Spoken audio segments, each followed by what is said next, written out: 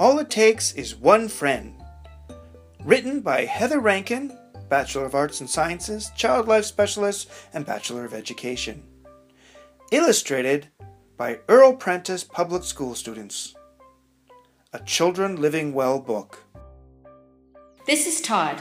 One day he discovered that all it takes is one friend. Todd woke up with what felt like a pebble in his stomach. The pebble feeling started at school the day before when someone stepped on his toe and didn't say he was sorry. His toe wasn't hurt as much as his feelings were. On the way to breakfast, Todd passed his big brother's room. His big brother shouted out, Are you really going to wear that ugly looking shirt? Todd liked the shirt he was wearing. So those words really hurt his feelings, and now the pebble felt like a rock.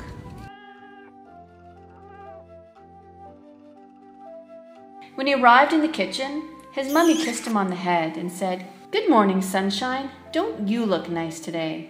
Mummies always know what to say. The rock felt like a pebble again. On the way to school, another kid rode by Todd fast on his bike and yelled, Slow poke! The pebble grew into a rock once more. As Todd walked along with that heavy rock in his stomach, he tripped on the sidewalk and scraped his knee.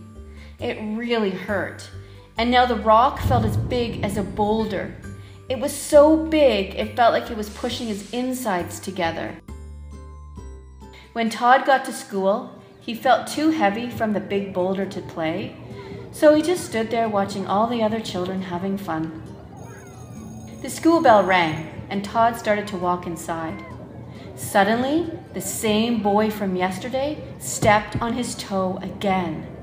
Todd realized the boy had done it on purpose. Now he felt like he had a mountain inside of him that was so big no one could ever climb it. Todd sank into his desk, feeling very full with the mountain inside of him. He felt so full he could hardly swallow. The teacher was at the front of the classroom, introducing a new student to the class. The new student looked different from everyone else, and when Todd looked into his eyes, he could tell the new student had a pebble in his stomach too. When recess came, Todd still couldn't swallow right because of the mountain, so he didn't eat his snack. On his way outside, Todd could see the new boy in his class standing alone, looking at the other kids playing. The toe stepping kid walked right up to the new boy and stepped on his toe. Todd knew that the new boy probably had a rock in his stomach now. Todd walked over to him and said, Hi, my name's Todd. Don't worry about that kid. He steps on everybody's toes. He must be really angry inside. Would you like to play in the sandbox? The boy answered, Thanks. My name is Tyson. I love playing in the sand. Tyson and Todd played all recess in the sand. They dug tunnels, made roads, built castles. They shared, laughed, and talked. When recess was over, Todd realized the mountain inside of him had shrunk. When Todd looked at Tyson, he could see that his rock was gone too.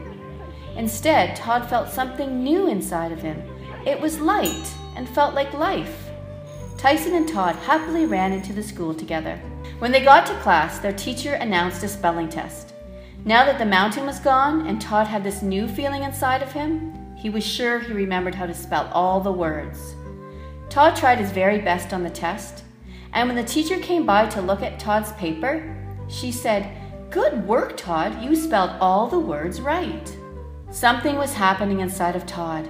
He realized the new feeling had been a seed, and now it was growing. Todd sat up tall as the great seed began to grow. Todd walked home with his new friend Tyson. They talked about their favorite movies, how they both liked toads and fishing, and about how they both thought dinosaurs were really cool.